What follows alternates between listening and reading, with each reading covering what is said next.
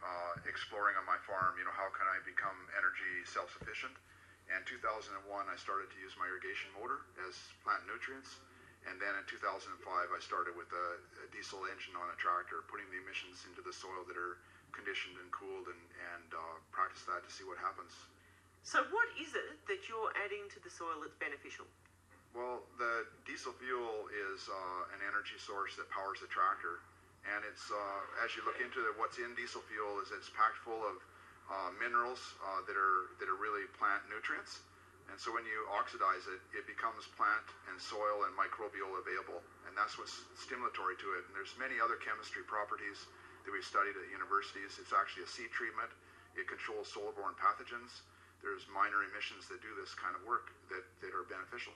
Is there anything within the um, emissions that you're placing in the soil that's having any negative impact on it? So far, we haven't come across any uh, part of the emissions that would be negative towards plant growth. It actually causes seeds to sprout sooner. It causes plants to really express their genetics potential more. And so the plant is the bioindicator. If the plant's doing well, there isn't anything that's really inhibiting. And that's what we've found so far. It's all stimulatory. Does the impact depend on the sort of soil you're using this in? Because there are soils that are deficient in minerals, in trace minerals, and others that aren't.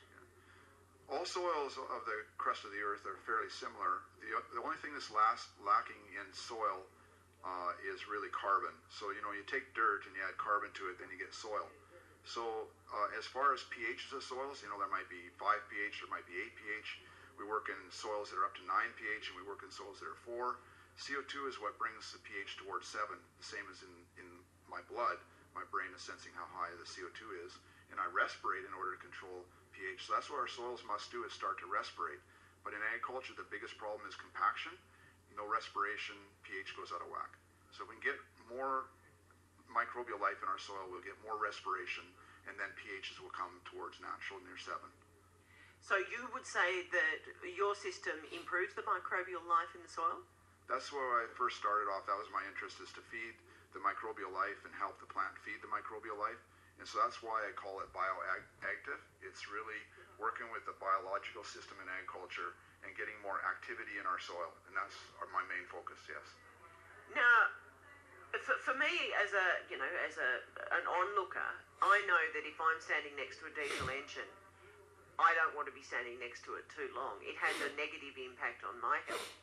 But you you would say that the impact on the soil is not the same. That it's a very different setup. Yeah, as far as uh, as you yourself standing by a diesel engine, we're both respirating. Okay, so we're we're um, both using a, an energy source to get our energy to move where a plant is using my breath or the exhaust from the engine. That's what plants do, and that's what microbial life in our soils do. So, as far as um, thinking about this, everyone thinks that exhaust is toxic.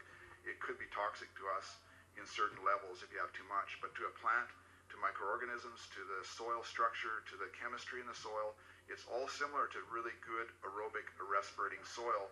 The emissions are the same. So, so that's what it, we have to get into our into our thinking and to teach farmers, you know, really how does this work? We have to understand uh, there's many many things that benefit by emissions. Is this in fact a little bit like acknowledging the fact that there really is no such thing as a true waste product? That everything is actually useful provided it's applied in the right way. Yeah, pollution is something in its wrong place, and so that's absolutely true. Is that is that if you have a, piece of machinery that can direct its result back into a, a, useful place. And that's so amazing with this tractor is it's going over the soil where it's needed right then. Because when you're ripping with a tine, that's been the criticism is that uh, we should go more zero till. But if we put the respiration back in, it actually feeds the life in the soil so it can repair the soil. So it's it's one and one, yeah. So you can see that there would be an application when you're ripping with a tine or when you're air seeding. But what about when you're just doing stuff in the tractor? You know, does it have to be, does the byproduct have to be used at the time or can it be stored? Well, we don't really ever want to store it because that costs money and that causes more pollution possibility. So I have the technology developed where it's with an irrigation motor, when it's sitting in one place, running on diesel fuel, the emissions are used into the water. Then I developed it for the tractor, so we place it into the dirt. The dirt is the absorbent to it.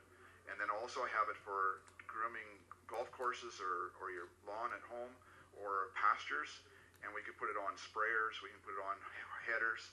Anytime an engine runs in agriculture, the emissions can be directed to the to a, an absorbent, and that's really the earth or the plant. What's the uptake of this in Australia? Well, in Australia, the farmers don't have crop insurance, and so their risk level is a lot higher than in America. And so I did have a lot of uh, interest in America when our grain prices were very low and there was a lot of droughts.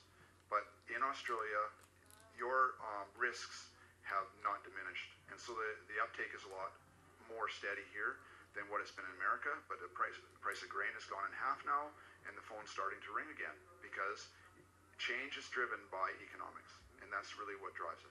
Necessity is the mother of invention. Well, it is, and that's why I started to do this 10 years ago. Farmers are the inventors of the industry, and so we're out in the dirt, you know, with the plants and trying to figure out how this works. And that's how every piece of machinery has been developed is by farmers of necessity. Yeah, I'm an active farmer. Uh, our family's been in agriculture for 100 years, and so I still farm to, to experiment because if I don't practice what I preach, um, how could I actually personally understand my machine?